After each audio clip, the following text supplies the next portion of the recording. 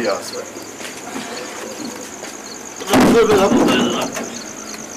चल शाबाश गंदा हो गया चल जा जाके ना क्या ते मैं ना तेरे वास्ते गरम गरम रोटी बनानी है तेरे लिए गरम गरम रोटी पकाती हूँ एक तो मुझे इसकी समझ नहीं आती और सारा वक्त बेटे के साथ लगी रहती है और उसको लड़की बनाएगी क्या इसमें लड़की वाली क्या बात है जो उम्र उसकी पढ़ाई की थी उसमें तो आप उससे इतना ज़्यादा काम करवा रहे हो। बाप दादा खुद तो चले गए और हमारे सर छोड़ गए चूना। ना ना बाप दादा के पेशे में क्या हर्ज है? अरे मेहनत करके रोटी कमाते हैं, कोई हराम का माल नहीं खाते। नाले मेरे साथ जरा तमीज से गल किया कर। मैं पहले ही बड़ा थका हूँ। मेरा दिमाग ना खराब कर। चौबीस घंटे यूरोप टर टर करती रहती है। और बंदा बाहर से बाहर खप के होता है आगे से इसकी सुनो, ओ यार। ओ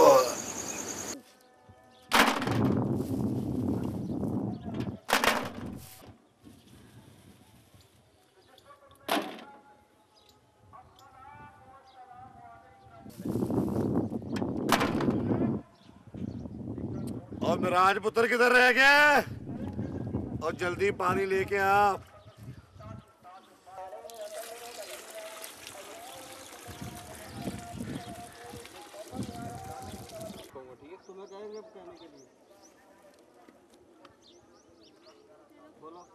अब्बा चूना तैयार हो गया है।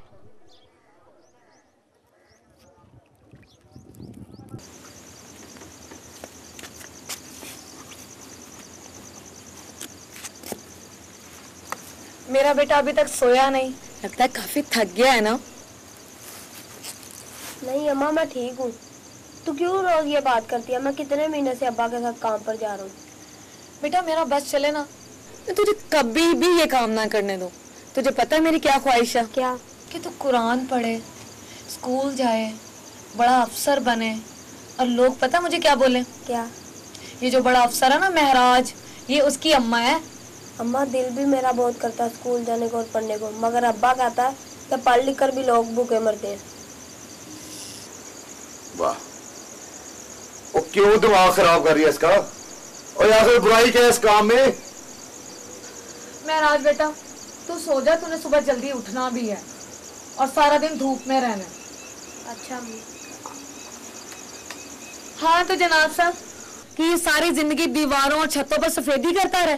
हमारे तरह तंग ज़िंदगी गुजारे। ए, हम कोई आम चूने वाले नहीं है खानदानी चूना वाले ये काम हमारे दादा परदादा से चलता आ रहा है। ज़रूरी तो नहीं कि हमारा बेटा भी यही काम करे। वाह तो तुम्हारे कहने का मतलब ये है कि मेरा बरसों पुराना खानदानी पेशा मेरे नाम पर खत्म हो जाए। इतना सा लड़का है तुम्हारा सारा दिन धूप में दौड़ता भागता है और बदले में मिलता क्या है? तुम्हारा बेटा कोई अनोखा नहीं है। और मैंने भी इस उम्र में अब्बा के साथ काम शुरू कर दिया था। तुमसे बातों में कोई नहीं जीत सकता। साइदा हाँ। तुम्हें पता है कि मैंने अब्बा के साथ कितने बड़े बड़े घरों में चूना किया है? वो अपने हाजी साहब है ना जिनकी बड़ी सी हवेली है। और वो मियाँ साहब है जिनका बहुत बड़ा बंगला है। और अपने मंसूर भाई जिनकी वो लंबी सी गाड़ी है। वो लंबी गाड़ी और बड़ी बड़ी हवेलियाँ मुझे ना सुनाया करें। कभी अपने घर में देखे अंधेरा ही अंधेरा? कभी इसको भी सफेदी कर लिया करो। अब अब तेरे मुँह कौन लगे? और तेरी तो तरस भी खत्म नहीं होती। चौबीस घंटे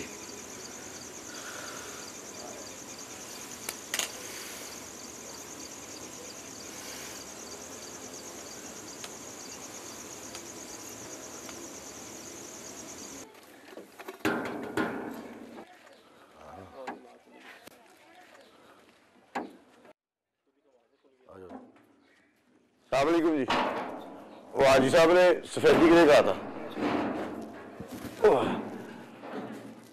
आजा आजा, मेरा पुत्र आजा। इधर रख दे बस सब कुछ। चल अब जरा जल्दी से ना माल तैयार कर। आज काम बहुत ज़्यादा है।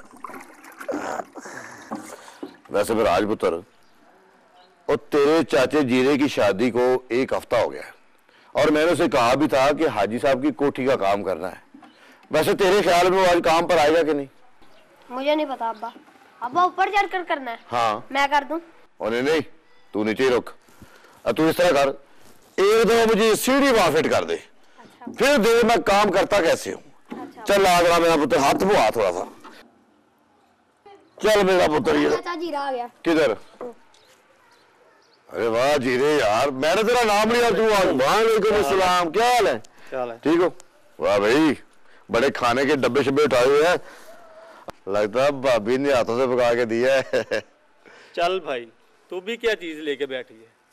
चल पकड़ा मुझे आज सारा काम मैं करूँगा। नहीं नहीं तेरी नई नई शादी है मैं आधा काम तेरे साथ करूँगा। चल ये पकड़ चल।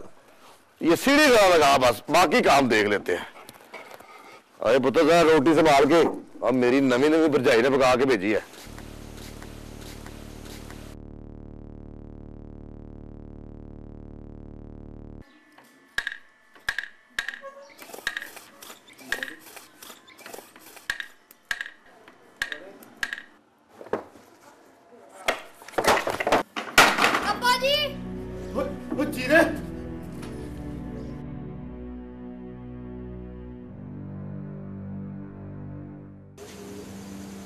साहिदा मेरा आज सो गया क्या? बेचारा सो तो गया। बार बार डर डर के उठ रहा था। आप मुझे ये तो बताएँ कि जीरा कैसा है?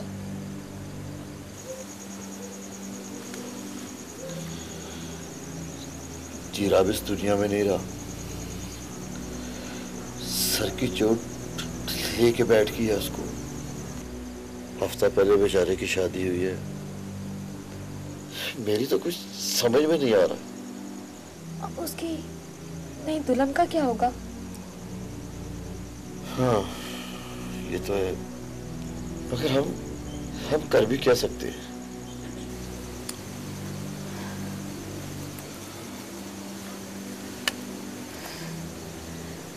मैं आपको एक बात कहूँ। बोलो।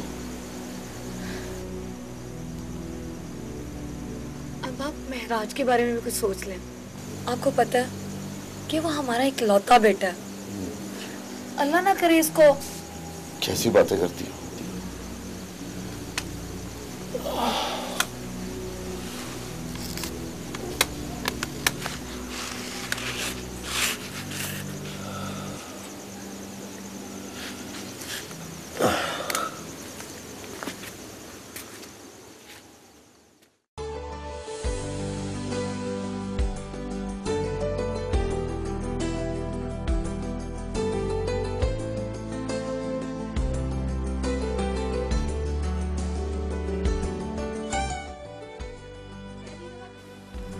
अम्मा अम्मा मेरी ये किताब नहीं मिल रही। मुझे स्कूल से देर हो जाएगी। आ रही हूँ आ रही हूँ बेटा। ये रही तुम्हारी किताब। ये लो। दाफिज अम्मा दाफिज बेटा।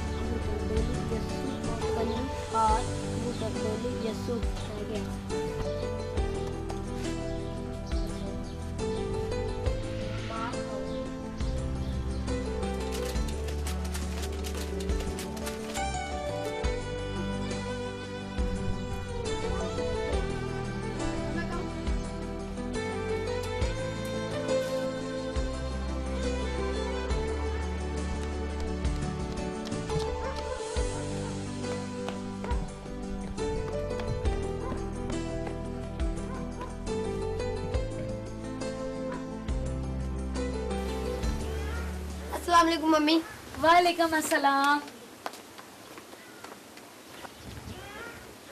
अम्मा बहुत ज़ोर के भूख लग रही है। मुझे पता है मेरे बेटे को बहुत ज़्यादा भूख लगी हुई है। पहले मेरा बेटा अंदर जाएगा जाके अपने कपड़े बदल के आएगा। अच्छा बेटा महराज अपना बस्ता दे अंदर लेके जा। अच्छा अम्मी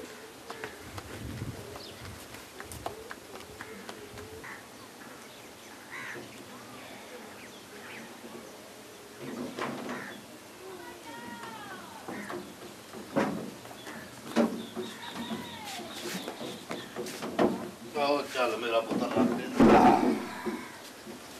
अच्छा पढ़ाइयाँ हो रही हैं हाँ? मैं जी अम्मी जाके अपने पानी लेके आओ। अच्छा, शुक्र है मेरे तेरा क्या बात है? आज आप काफ़ी ज़्यादा थके हुए लग रहे हैं। हाँ आज काम बहुत ज़्यादा था। ऊपर से मैं अकेला भी हूँ अब। अच्छा फिर मैनेज करने खाना लेके आनी है।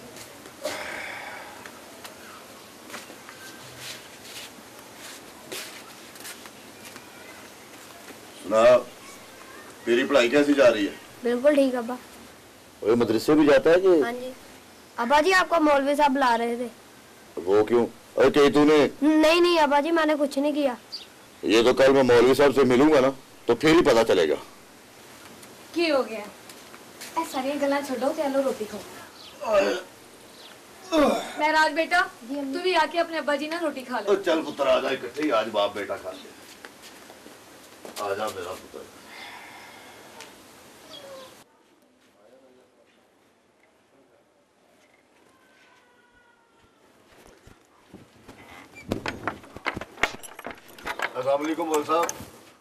वालेकुम अस्सलाम जी तुम आ गए? मैं कब से तुम्हारा इंतज़ार कर रहा था? मौलवी साहब खैरियत तो है ना कहीं मिराज ने कुछ अरे नहीं भाई वो तो बहुत जहीन बच्चा है। अच्छा वाकई? हाँ बिल्कुल। तुम्हें बुलाया इसलिए था गुजी बाहर की ये मस्जिद की सारी प्लास्टर वगैरह बाकी है मगर अंदर का काम मुकम्मल हो चुका है। अब उसे चुना होना है। अरे मौलवी साहब इसमें कोई मसला ही नहीं है। अब मैं कल सुबह ही चुना शुरू कर देता हूँ। सुबहान अल्लाह सुबहान अल्लाह भाई साहब ये बड़े नसीबों की बात है कि मुझे अल्लाह के घर काम करने का मौका मिल रहा है। और हाँ मैं दोजख में जाऊँ अगर एक पैसा भी लूँ तो। माशाल्लाह माशाल्लाह। इसका अजर तुम्हें खुदा देगा। मौलवी साहब मुझे इजाज़त दें। मैं जाके सामान इकट्ठा करता हूँ और कल सुबह ही आ जाऊँगा। अच्छा जी। खुदा अल्लाह खुदा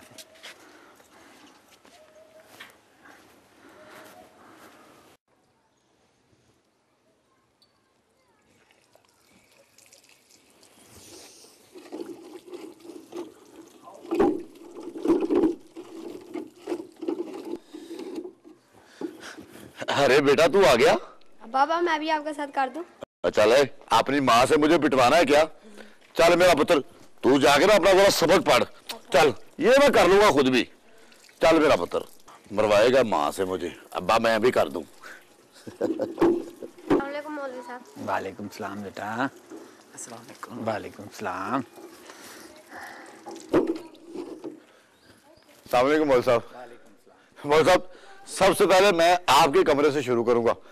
उसके बाद अंदर की छतें और दीवारें। फिर ये वज़ू वाली जगह और फिर जी मुझे तुम पर पूरा एतबार है। जो बेहतर लगे वो करो। ठीक है, साहब। मैं नमाज़ पढ़ा और ठीक है जी आप नमाज़ पढ़े और मेरे लिए दुआ करनी है और मेरे बच्चे के लिए भी दुआ करनी है ताकि वो पढ़ लिख कर बड़ा अफसर बने। हाँ।